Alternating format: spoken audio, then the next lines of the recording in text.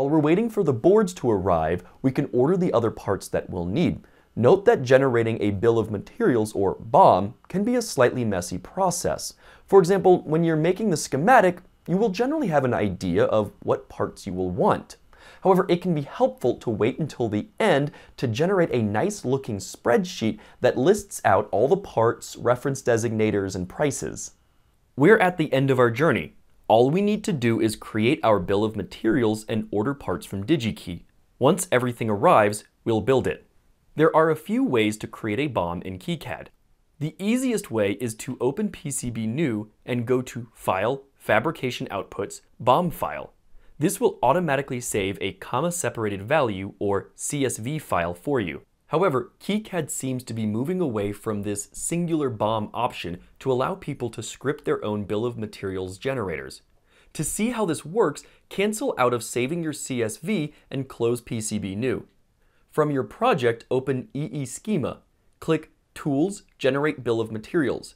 You'll see a pop-up window that shows a list of scripts available to use. You may or may not see plugins listed depending on your KiCad installation. If you don't see the BOM2 grouped CSV plugin listed, click Add Plugin. You might have to do a little digging to find the default scripts that come with KiCad, or you are welcome to download other people's scripts. To use the BOM2 grouped CSV script that should come with most installations, go to the bin directory and navigate to Scripting Plugins click on BOM2 grouped CSV.xsl and click Open. Click OK to keep the name. You can change some of the parameters, but by default the script will produce XML and CSV files in your project directory with information about all your parts. Click Generate. Close the Bill of Materials window and close out of Eeschema. The extensible markup language, or XML file format, is arguably more powerful, but I find it harder to use than the basic CSV file. What we're aiming to do here is import our parts list and then modify some of that data to make it easier to buy parts. If you're working on a larger project or many projects, you may be inclined to write your own script in order to automatically populate this data for you. But for now, we just need to know what to buy. Open your favorite spreadsheet editor. I'll use LibreOffice to show some love for open source software.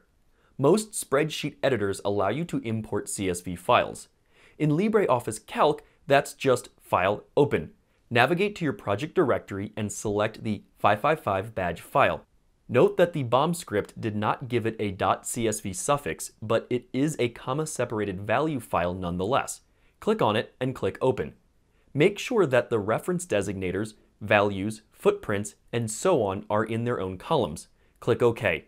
You should now have a list of all the parts on your board. Notice that the reference designators are grouped together for parts that have the same value. This will make ordering and assembling the board easier. This is a good start, but the spreadsheet usually requires a little cleaning up to make it usable. Take a look at the part rows. Sometimes you'll make a board with special markings or mounting holes that show up as parts. Since these don't actually require parts, you can just delete those rows. Do note that we have a battery holder, which means we'll probably want to order a battery to go along with it. Create a new row under BAT1 and give it the reference battery. Type 1 in the quantity column. We'll want to remove extraneous columns and add a column for links to the part pages on DigiKey. That way, we can just click on the links to open a bunch of tabs and order our parts. We don't need the datasheet column since we'll be able to find the datasheet from the DigiKey part page, so delete it. If you're working on a larger project, you could fill out the DigiKey part number column to generate a list to give to DigiKey. However, we don't need to do that for smaller projects like this one as we can just manually click on the DigiKey links. So go ahead and delete the DigiKey part number column. It can be useful to see the manufacturer part number or MPN for some of these parts, so we'll need to manually fill it out for most.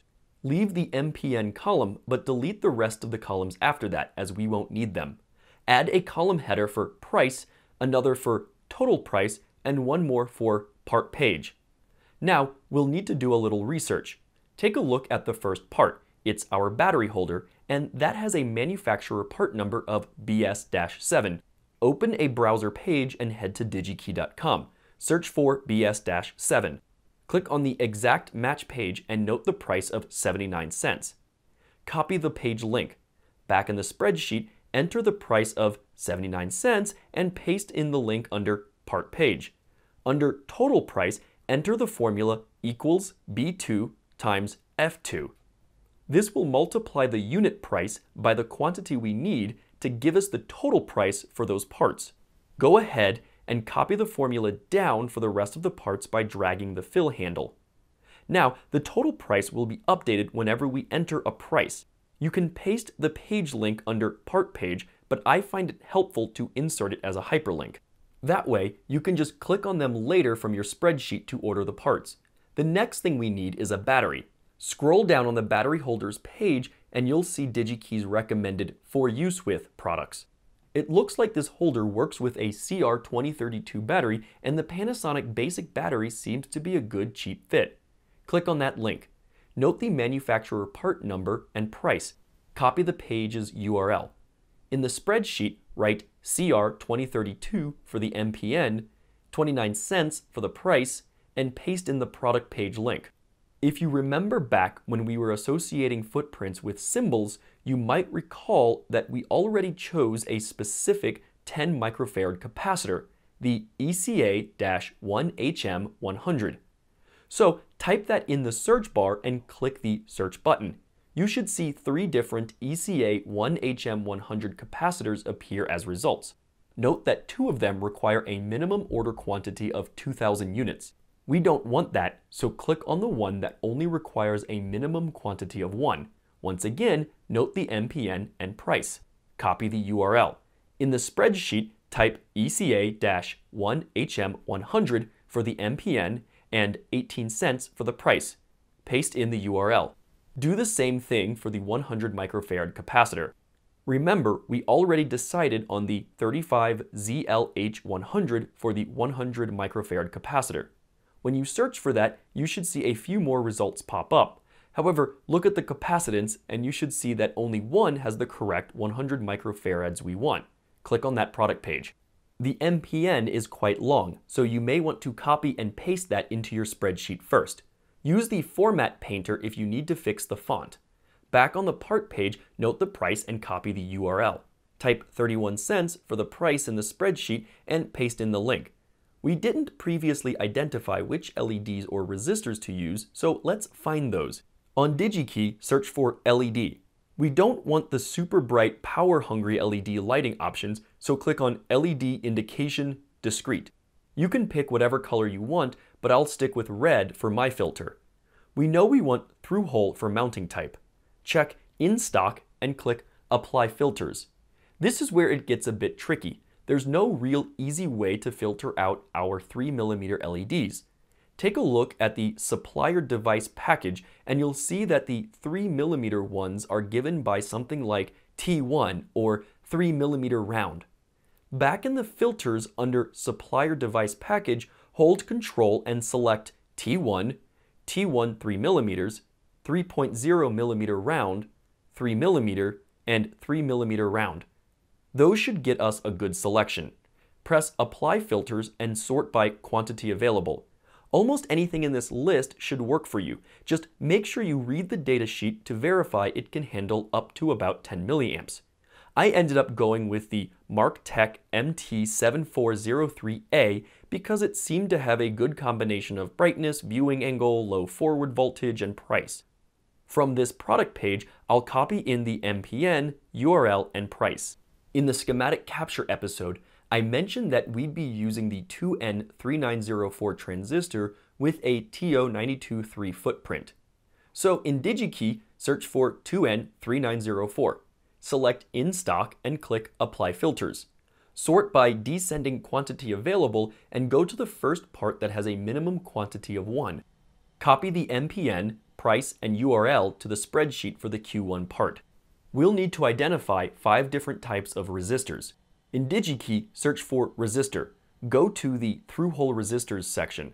The most common type of through-hole resistor that you'll come across is the quarter watt 5% tolerance resistor. So select 5% for the tolerance filter and 0.25 watts for the power filter. Select in stock and click apply filters. Now we can narrow our search to the resistance and easily come back to this page. Up first is the 22K resistor, so find and select 22K ohms from resistance and click Apply Filters. Sort by quantity available and pick the first resistor whose minimum quantity is 1. Make sure the price is reasonable, something like 10 cents for a single basic resistor is normal. Go to the product page and copy over the MPN, price, and URL into your BOM. On DigiKey, hit the back button three times and you should be back at the results page after you selected your power and tolerance filters. Under resistance, select 330k ohms as that's the value we need for the next part. Click Apply Filters, sort by quantity available, and choose the first viable part you see. Once again, copy the MPN, price, and URL into your spreadsheet. Repeat this process for the 100K, 10K, and 100 ohm resistors. Because we got the footprint and symbol information for the switch from the DigiKey libraries, we know that DigiKey should have the EG1218 switch. Search for it and select the product whose minimum quantity is 1. Copy in the price and URL as the MPN is already filled out for us. Finally, we already identified the Intersil 7555 timer for U1. In DigiKey, search for 7555 and click on the Clock Timing section. Filter with Through Hole and In Stock selected. Sort by quantity available and you'll see our ICM 7555. From that product page, copy in the MPN, price, and URL. Feel free to take a moment to make the spreadsheet look nice and easier to read. Save it as something like 555 underscore badge underscore BOM with the ODF or Excel file extension in your project directory. Now that your bill of materials is done, it's time to order parts. If you just pasted in links to the product pages, the next part is easy. All you need to do is just click on each of those links and order the quantity shown in your BOM. Don't forget to multiply by the number of boards you want to make. From your BOM, click or control click if you have LibreOffice on each of your part pages. You should now have a bunch of tabs open, each with a part you'll need. I recommend ordering enough parts to make all three of your boards plus one or two extra. So for battery holders, change the quantity to 4 and add it to your cart. For the batteries, you can order them from DigiKey, but note that because they are lithium batteries, you won't be able to use air shipping. Most grocery and drug stores carry CR2032 batteries, so you can always try there if you don't want to use ground shipping. Keep adding the necessary parts to your cart. Remember that you'll need to order at least 6 LEDs as you'll need 2 for each board. For your resistors, it might actually be cheaper to order a pack of 10 instead of individually, so pay attention to the unit prices and bulk discounts. Once you're done, view your cart and double check that it matches with the parts on your BOM. Click Checkout. You're welcome to continue buying as a guest, but I recommend making an account on DigiKey's page since it'll save much of your shipping information. From here, follow the prompts to fill out your shipping and billing information. I find that USPS first class mail works fine as a delivery option so long as you live in the United States and your package is under 14 ounces. Once again, you'll have to wait for things to arrive. I know this can be tough, but soon we'll be able to build our shiny new badge. On the next episode, I should have all of my parts in, and I'll show you how to build the board. See you then, and don't forget to subscribe if you want to see more cool videos from DigiKey.